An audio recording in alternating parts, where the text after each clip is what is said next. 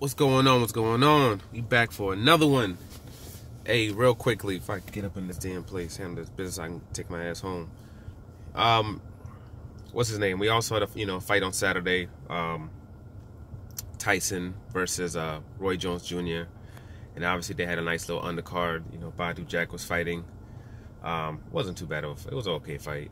Um, fight before that, you know, two big ass Spanish dude. That dude's huge faces some little tiny little African dude, but it still was a good fight though.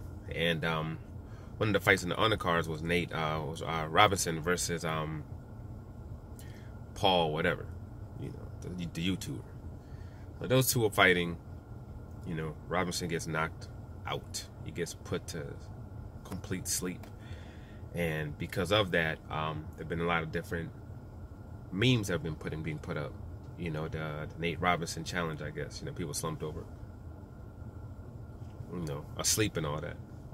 And I guess Floyd Mayweather, you know, he uh, penned a letter where, you know, he was defending uh, Nate Robinson, talking about how, you know, he shouldn't be, you know, as another brother, that, you know, shouldn't be basically, you know, doing that to each other or whatever, and being should be actually be there for each other and support each other you know, things that if it was coming from somebody else, you could listen to it and you can be like, all right, you know, maybe he's right about this situation. You know what I'm saying? People shouldn't be putting out those type of means and and they shouldn't be disrespecting um, the man like that. And he was talking about how, you know, all the issues he's had with other brothers has been from when they've done something to him first or whatever it is. Um, but, you know, the reality of the situation is that, you know, if he wanted to come out and say, "Yo, this is my friend," you know, you know, he put himself on the line, you know, and that should be commended. It shouldn't be disrespected in the way that it is. Something of that nature that I could understand, you know, um, coming out to your friend's defense, I guess you could say. Um, but when you start making it like a, a, you know a brotherly type of thing, where like, oh, he's black, I'm black, so we gotta you know stick together. We gotta you know show love for each other, respect for each other when it comes to that, he just happens to be the person that is not in a space where he can say something like that. He's not in a space to do that. Um, just due to the fact, just due to his, you know, a lot of previous behavior. He flip flops a lot on this stuff. One minute, one minute he's all big into the whole, you know, racial, you know, uh, things that's going on in the world and how, you know, you know, you know, certain races being treated and and then the negative thing, things that happen to them and you know how things need to change and he talks about all the the racial discrimination that he's dealt with. But then on the other hand he flips over and he goes a complete different direction. You know when it came to sterling and we heard all the racial comments that were said by him you know floyd mayweather came out and said hey he never did nothing to me. You know he never said anything disrespectful like that for me. That's what he said when it came to that. When it came to somebody like donald trump. And you know this is a guy that pretty much you know, has people in his cabinet that are looking for racial wars to start and all this other stuff. This is a guy who, when it comes to white supremacists, he pretty much, you know, he won't speak down on them. That's for sure. He won't speak down on them. He's done a lot of, a whole lot of different other racial things, when they, whether it comes from Mexicans or whether it comes from Muslims all types of things. He's made a lot of derogatory comments towards a lot of different races and a lot of different people. This guy who has a history of, you know, having been sued before because he wouldn't let allow black people to, you know, to go into apart to his apartment buildings that he owned. He wouldn't rent to them. You know, he's has a, a long history of both sexism and racism.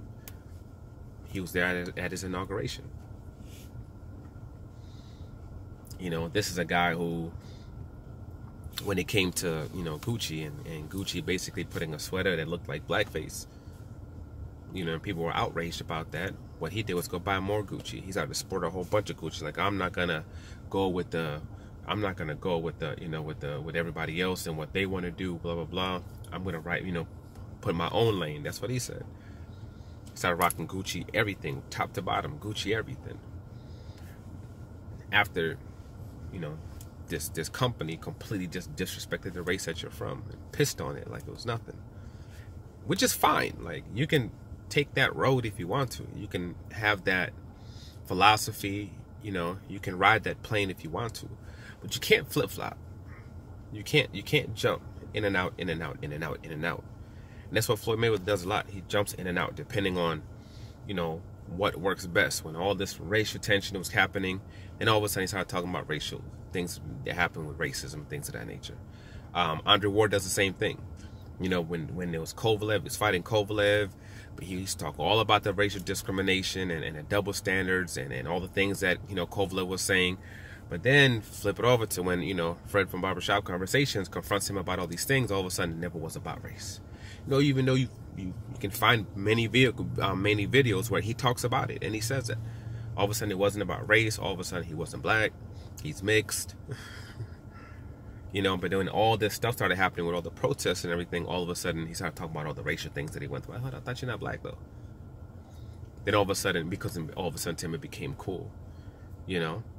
Just like Floyd Mayweather, Mr. All Lives Matter.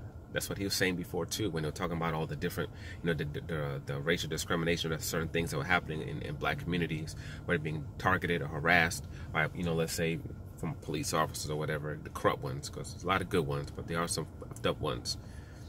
You know, can't just close your eyes to that reality. they exist. Um, and what he was like, he's not riding with that. You know what I'm saying? You know, he was, he was like, he's not writing about all, at that at all. So you can't, you can't flip flop. You know what he needs to do is just stay in your lane, stay stay in the plane that you're in. Don't talk about injustices and things of that nature. That's not you. You know, talk about boxing, talk about your past life in boxing, talk about your $18 million watches and your nice cars and your houses and how you made hundreds of millions of dollars. That's more being you. You know, when it comes to all this other stuff, stay out that lane. That conscious stuff, you know, a man who had his daughter around thoughts her whole damn life. So now she starts to act reckless in a certain way and people are all appalled. Why is she acting like this? Why is she acting like this? You know, she has everything. She never has to work a day in her life. Why is she acting like this? Look at the people that he's had around her her entire life. These are the people that she was getting, you know, she's getting pointers from. She's looking at how they're living their lives, and she's taking from that. so, no, you know, definitely Robinson. Um, good luck to him. Um, hopefully he recovers, especially after getting knocked unconscious like that. Stay out of boxing. Don't do that anymore. You're a multimillionaire.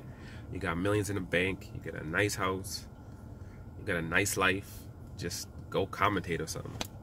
There's other things that you can do, but this thing where people think they can just get up and decide, hey, I want to be a boxer, and you know I'm gonna train for two, three months and then and start boxing. It's not, it's not the lane that people need to be going to. So, you know, good luck to him. You know, hope he, hopefully he's healthy. Hopefully he's good. Hopefully he makes a good recovery, and um, stay at the ring. And as far as Floyd goes, stay in your lane. Like, subscribe, share. I'm out.